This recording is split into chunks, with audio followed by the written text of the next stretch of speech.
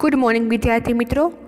આપણે ધોરણ ચાર વિષય કોમ્પ્યુટરમાં પેઇન્ટ વિશે ભણી રહ્યા હતા, જેમાં હવે આપણે આગળ જોઈશું.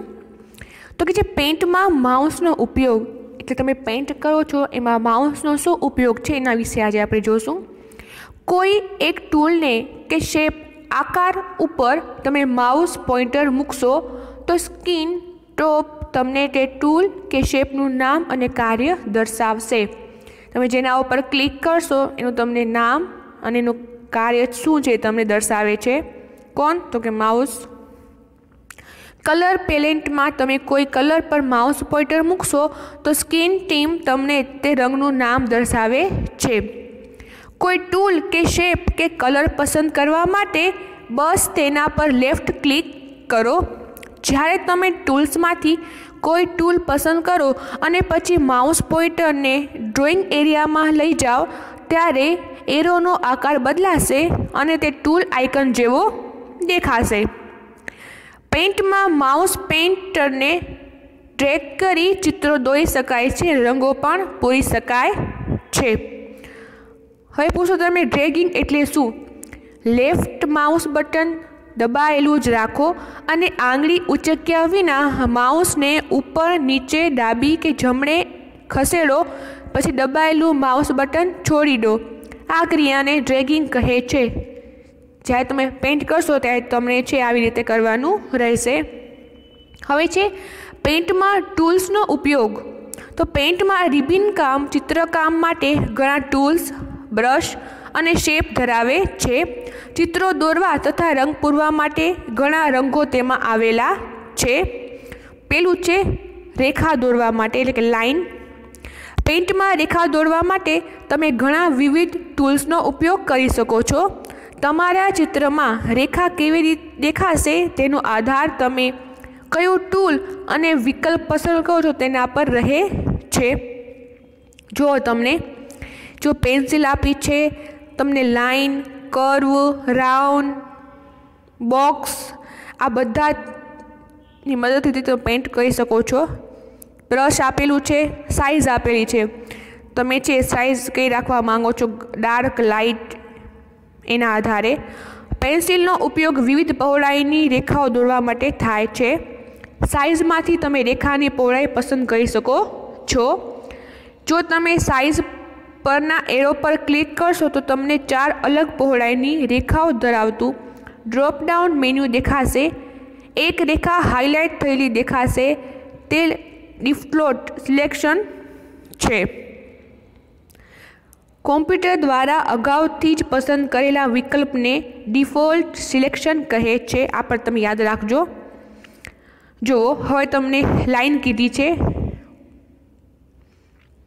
બ્રશ, બ્રશનો ઉપયોગ વિવિધ પ્રકારના બ્રશ વડે ચિત્રકામ તથા રંગ પૂરવા માટે થાય છે.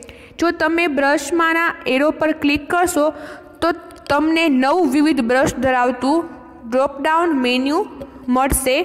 તે દરેકનું નામ જાણવા તમે માઉસ પોઈન્ટર પર મૂકશો. તમે માઉસ છે એ તમે દરેક બ્રશ ઉપર મૂકશો, તેનું નામ તમને દેખાડશે. જ્યારે તમે બ્રશનો ઉપયોગ કરો, ત્યારે સાઇઝમાંથી તમને ગમતી પહોળાઈ પસંદ કરીને તમે પહોળાઈ બદલી શકો છો. લાઈન વિવિધ પ્રકાર, વિવિધ પહોળાઈની સીધી રેખાઓ દોરવા માટે લાઇન ટૂલનો ઉપયોગ થાય છે. સાઇઝની મદદથી તમે રેખાની પહોળાઈ પસંદ કરી શકો છો. ચોથું છે કર. વિવિધ પહોળાઈના વળાંક દોરવા માટે કર્વ ટૂલનો ઉપયોગ થાય છે. સાઇઝમાંથી પહોળાઈ પસંદ કરીને તમે વળાંકની પહોળાઈ બદલી શકો છો. હવે હવે એના આકારો દોરવા માટે તમે કેવી રીતે દોરશો? રિબિન વિવિધ પ્રકારના ત્રેવીસ આકાર ધરાવે છે, જેનો તમે તમારા ચિત્રમાં ઉપયોગ કરી શકો છો. કેટલા? તો કે ત્રેવીસ. જો તમને કીધું છે આકૃતિમાં, શેપ, આકારો પર તમે અહીં ક્લિક કરો. શેપ બોક્સ પર ડાઉન એરો પર ક્લિક કરો, તમને બધા જ આકારો દેખાશે. આ તૈયાર આકારોમાં રેખા વળાંક અંડાકાર, લંબચોરસ, ચોરસ, ત્રિકોણ, હીરાકાર, તીર, તારો, હૃદય વગેરેનો સમાવેશ થાય છે. નામ જાણવા માટે દરેક આકાર પર માઉસ પોઇન્ટર મૂકો.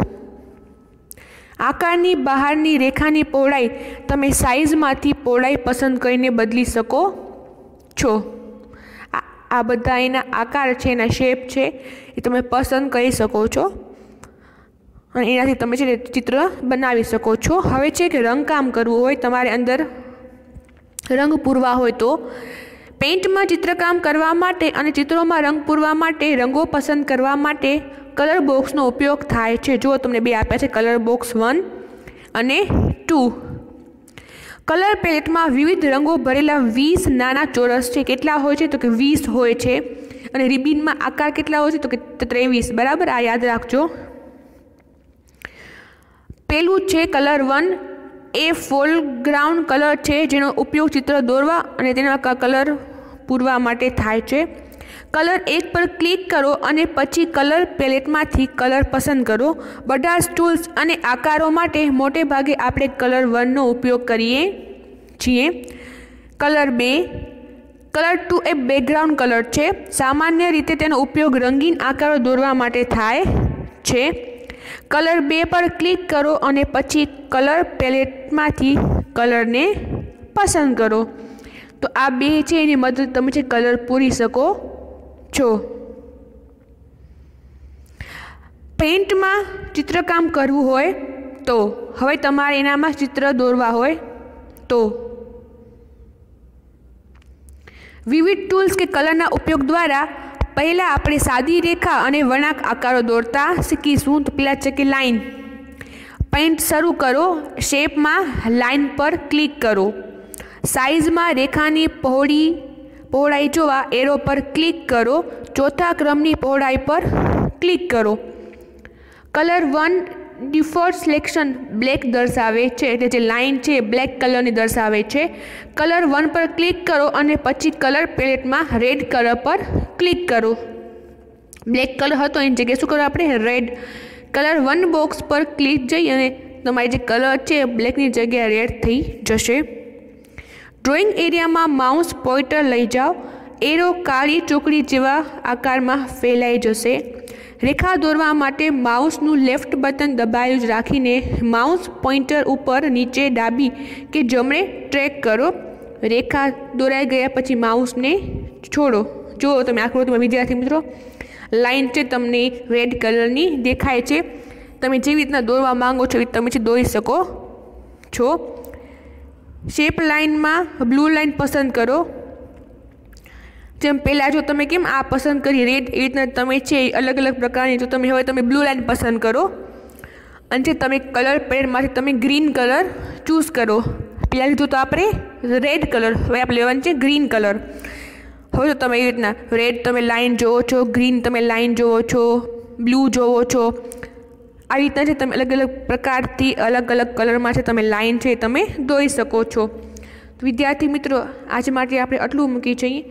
આ પણ તમારે એક વખત વાંચી જવું અને યાદ રાખવું. બાકીનું આપણે નેક્સ્ટમાં જોઈશું થેન્ક યુ